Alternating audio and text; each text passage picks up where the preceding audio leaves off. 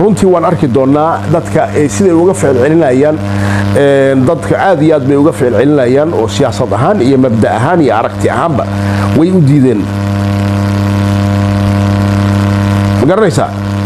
Laakiin waxaad hadda mooddaa in ay soo tarayso dhibaatooyinka ka jira garowe inay sii xoogaysanayaan oo ah in dowladnimadii dad aysa siiyeen ayagu ciidan gaaroo calooshood ushaqaystayaal ay samaysteen.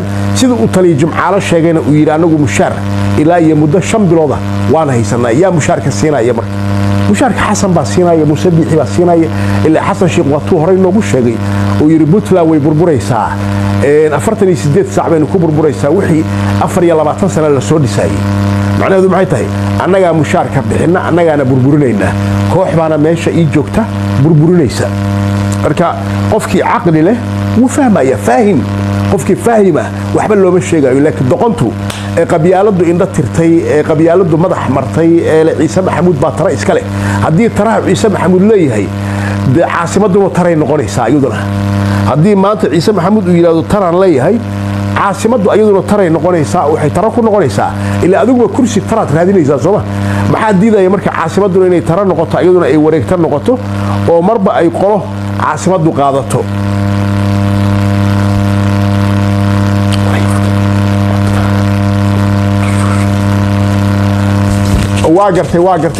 Waa mahadsan tahay. Cabdulaahi aad baa u mahadsan tahay. Waa run xarigan xagga ku xiray. Aad iyo aad baan kaaga mahad celinayaa hadda see yahay hadda see yahay okay ma yahay. Runtii waxaan arkay iyadoo ciidan la soo bandhigay boqoloo ciidan askari ilaa askari iyadoo la soo bandhigay oo la leeyahay askartan waa askartii gadoodsanayd jimcaale uu leeyahay kuwii meesha laga kaxeeyey. Marka runtii waxaad mooddaa meeshaasi inay ay tahay dowladnimadii inaysan shaqaynayn baad mooddaa oo dowladnimadii laga tegey oo oo loo tegay qaab cadaalad aan ahayn. Qaab fiican aan ahayn. Marka runtii waxaan leenahay garowe iyo xamar waa isku mid. Waxba isma dhaamaan. Xamarna mooryaan baa joogta jirri baa joogta.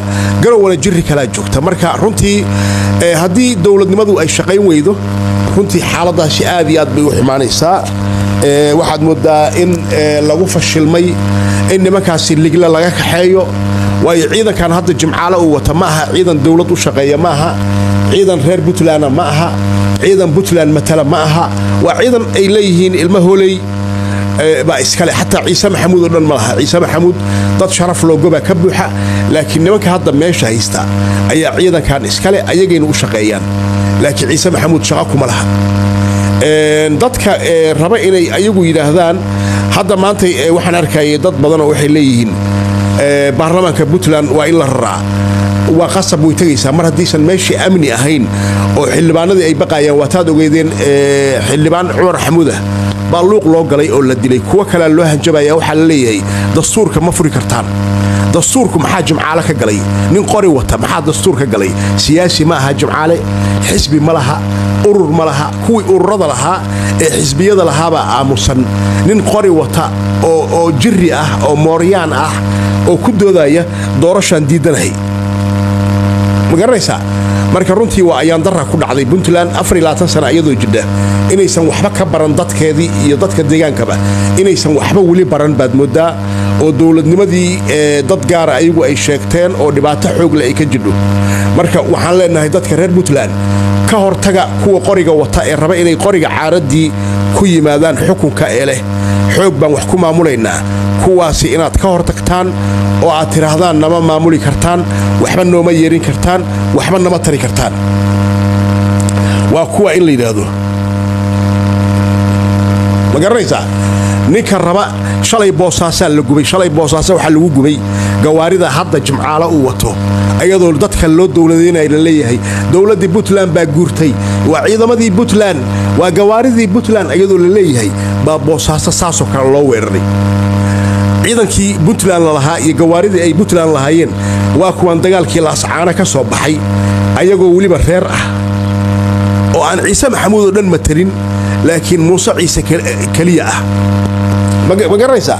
Marka walaalayaal puntland waxay noqonaysaa ama meel reer puntland ay leeyihiin bay noqonaysaa ama waxay noqonaysaa meel baarlamaan baarlamaan muuse ciise uu leeyahay oo ayagu mandateka iyo waxay u yeeriyaan looga sheekeeyo buu noqon doonaa baarlamaanka puntland.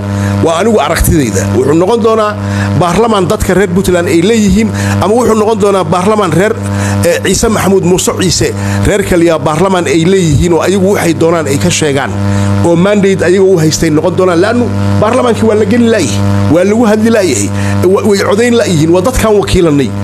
Niman ciise maxamuudaa diidan oo weliba koox yar ah aan ahayn ciise maxamuud oo dhan aan ahayn ee koox yar ah.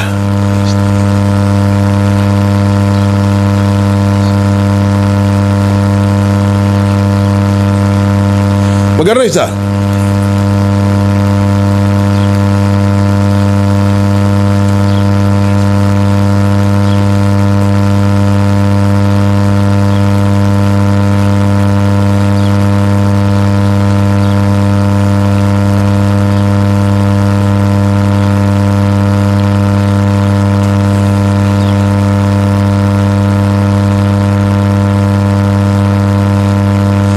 marka runtii aad iyo aad baan runtii oga xumaaday waana sugaynay waxaasi wax ka daran inay dhacaan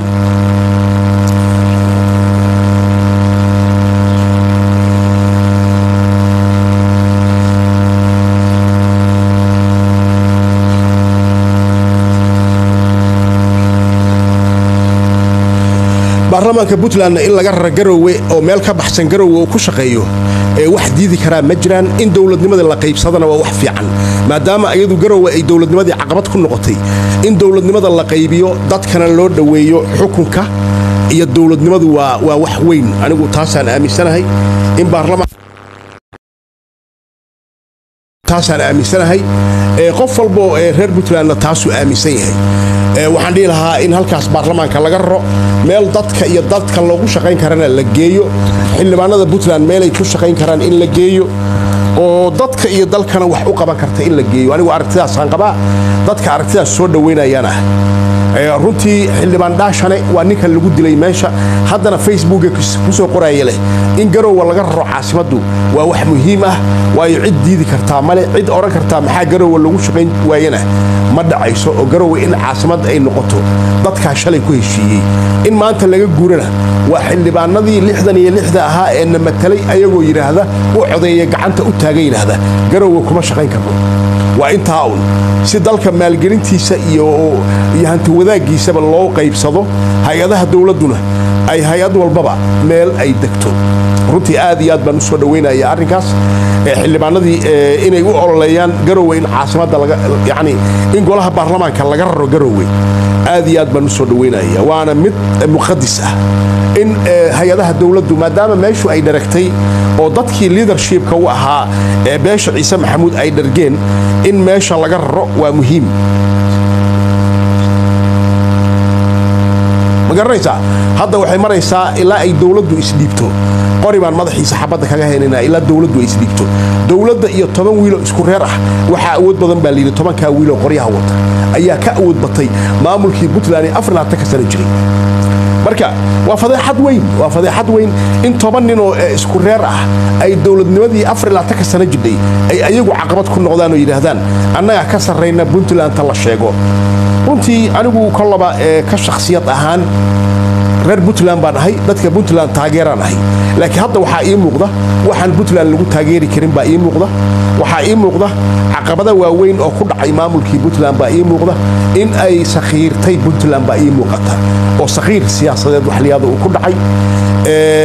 Dowladnimadu waa in loo dhintaa oo lagu baaba'aa laakiin dani waxaad mooddaa inuu weli wax xayrinayo. In nimankaasi ciidanka puntland lagu fasaxo ama la soo qabqabta maxkamad la keeno ama layska horleexiyo deni wuu awoodi waaye marka sidaa darteed hadduusan awood u lahayn anigu waxaan kula talin lahaa deni inuu meesha isaga tago ama uu ka muuqdo. Wax ka dhexeeya male ama ka tag meesha ama ka muuqo.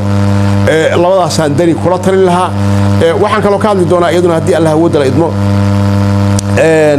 Xasan dhiiqo oo u soo socdo dalka talyaaniga wuxuu soo kaxaystay baa la nin oo isku reer ah ama dad isku xambaar ah buu soo kaxaystay oo doonaya inay talyaaniga ka sii baxaan oo tahriib ay soo galaan. Dadkaasoo lacaga laga soo qaatay la raba in talyaaniga marka uu keeno kadibna dadkaasi ay meelo kale iska dhiibaan. Waa sidaa hadda aan xogta ku helayno safaaradda soomaaliya ee talyaaniga mar aan la xiriirnay waxay noo sheegeen in wafdigu madaxweynuhu uu yahay afartan qofood afartanka qofoodna ay wataan baasaboorro diblomaasi ah. Hadhowna ay doonayaan inay meelo kale iska dhiibaan markii talyaaniga ay yimaadaan oo fasaxa madaxweynaha uu ku joogo ay la qaataan oo madaxweynuhu inuu laabta ay dhiman tahay laba cisho ayay doonayaan inay madaxweynaha ka dhuntaan ama sida qorshaha uu yahayba. Kadibna ay isdhiibaan ayagoo baasaboorkii diblomaasiga wata. Yidhaahdo waxaan nahay siyaasiyiin soomaaliyeed ama ururo siyaasadeed ama xisbiyo lahaa ama xilal ka soo haya dowladda. Hadda jirta sidaa darteed annagu waxaan ka soo cararnay al-shabaab inay yidhaahdaan. Sidaasay u badan tahay boqolkiiba boqol. Safarkaasna waxaan ku haynaa indhahaan ku haynaa oo waxaan rabnaa inaan ogaano cidda baxsatay iyo cidda joogi doonta.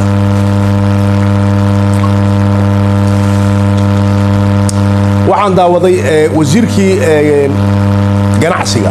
Oo wuxuu leeyahay cidda ugu horraysa aan shaqo siinaayo waa reerkayga waa sax waa ku raacsanahay. Cidda ugu horraysa uu shaqo siinaayo ama inuu shaqo siiya ay tahay waa reerkiisa. Anigu waa waxaan samayn lahaa. Anigu saan samayn lahaa. Anigu hadda maanta haddaan xil qabto ninka ugu horreeya oo aan keeni lahaa in adeerkay wey ama dadkii isoo doortay ee xildhibaanka iga dhigay ama ninka iga dhigay wasiirka oo anigu ina adeerkay ahaa. Dadkaygaan kaysan lahaa. Dad ila wada hawsha oo meesha igu haya oo igu ilaaliya baan kaysan lahaa. Waa runtiis. Marka maxaa loola yaabaya? In lala yaabo maaha wuu ku saxan yahay. Wuu ku saxan yahay. Boqolkiiba boqol buu ku saxan yahay. Wasiirka ganacsigu waana ku ammaanayaa inuu ilmo adeeradii keensado inuu ilmo adeeradii soo dhowaysto waayo xasan shiikhba wuxuu yidhi gabadhiisu xasan shiikh baa ammaanayaa soomaha uu yidhi anigu gabadhaydaa xilka ii haynaysa. Gabadhaydaan aaminayaa in adeerkay baan aaminayaa waataad aragtay madaxtooyadii soomaaliya?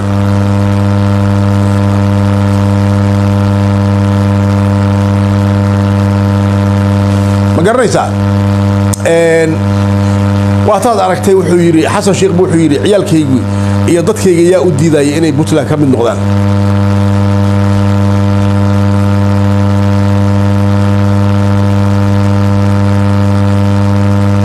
ma garanaysaa marka runtii aad iyo aad baan u soo dhowaynayaa wasiirkaas inuu yidhaahdo kelmaddaas uu yidhaahdo. Aad iyo aad baan u soo dhowaynaya waana ku taageerayaa waxaan leeyahay wasiir waa saxan tahay. Raaligelinta aad bixisayna adigay dhibaato kugu tahay. Waa arkay asagoo raaligelin bixinaya. Oo wuxuu leeyahay hadalka saa uma si kalaa loo wada. Laakiin raaligelintaasi waa qalad anigu haddaan hadda maanta xil qabto ilaahay baan ku dhaartay xilka lagu caabudo. Ilaahayga xaqa lagu caabudaan ku dhaartay. Ilma adeeraday baan geysan lahaa. Cid aan ka hibaysanaya ma jirto. Maxaan uga hibaysanaya waayo madaxweynihii baaba yidhi ilma adeeradiinna geysta. Oo nin walbow ninkaaga noolayso? Madaxweynihii baa yidhi. Marka sidaa darteed maadaama madaxweynuhu uu yidhi nin walbow ninkaaga noolayso maxaan anigu u diidayaa inaan geysta dadkaygii? Marka runtii aad iyo aad baan u soo dhowaynayaa wasiirkaas waana ku ammaanaya weliba bilad sharaf buu leeyahay wasiirkaas. In bilad sharaf la siiyo ama bilad geesi la siiyo mudan yahay. In dadkii asaga soo doortay ee xildhibaanka ka dhigay ee siyaasadda ku soo daray inuu wax taro xaq buu leeyahay. Laakiin xamse oo doqon ah xamse oo doqonkii ogaadeen oo asaga yidhi xukuumaddaydu waa dan qaran waa dan qaran xukuumaddaydu waa dan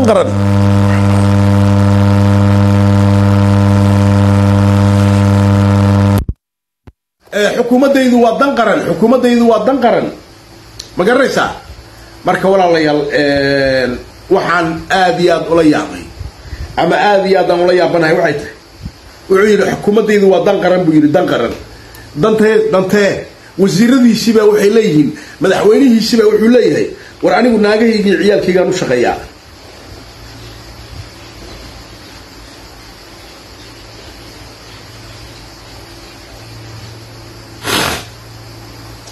madaxweynihii wuxuu leeyahay anigu naagahaygii ciyaalkaygaan mas'uulka ahay xamsena wuxuu ku leeyahay xukuumaddii dan qaran danteedii dantee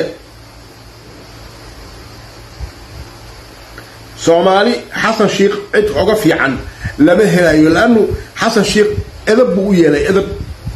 Waxay yihiin buu tusay garow wuu burburiyey kuwii garowa joog wuu ku shaqaystay lacag buu u diray maamul shan iyo labaatan sano jiray buu isku dhuftay lacag buu u diray koox buu abaabulay. Waa kuwa niman ciise maxamuud uu abaabulay mushaarkii u diray leeyahay. Mushaarkoodii xataa anaa haya shan bilood muddo lagu qiyaasay baa mushaarkoodii gacanta lagu hayaa.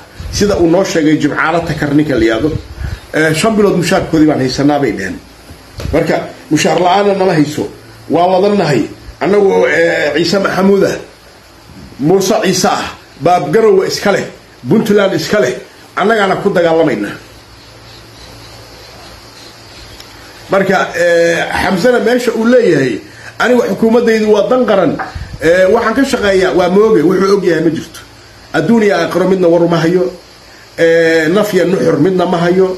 Meel cidlu wareegayaa wuxuu ogyahay ma jirto. Marka qofku markuu noocaas yahay wuxuu ogyahayna aan jirin. Dad iyo dunyada meel uu xisaabsan yahay aan jirin. Runtii aad iyo aad baa dadku soomaaliyeed ula yaaban yihiin.